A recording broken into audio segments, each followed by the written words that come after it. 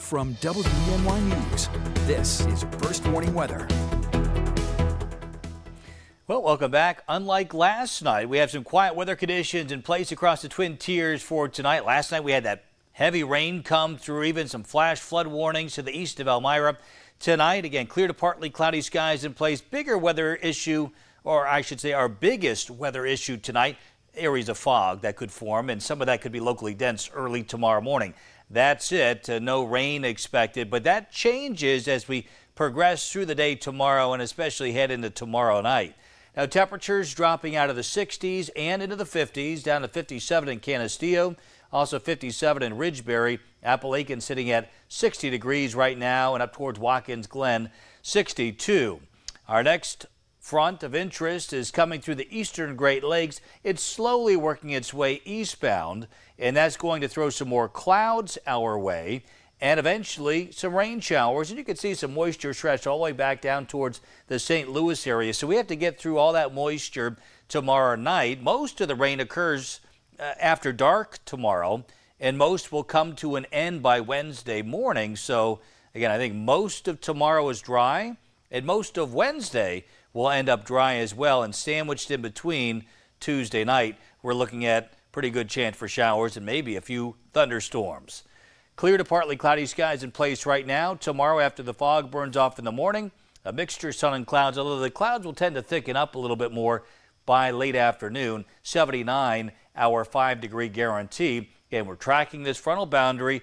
Uh, once this comes through, though, by early Wednesday, shifts the rain off towards the east, and we get a push of cooler, drier air moving in from the west associated with high pressure. Be very fall-like here for the end of the week. So timing out a rainfall here by 4 p.m. Tuesday.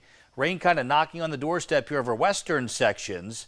Scattered showers, maybe a rumble of thunder here during the evening and then scattered showers likely through the overnight period. May get a cluster of heavier showers coming through closer to daybreak, but again, by 9 a.m. Wednesday, most of the rain east of Elmira, and we'll be looking at a clearing trend as we go into Wednesday afternoon as temperatures try and reach 70 degrees.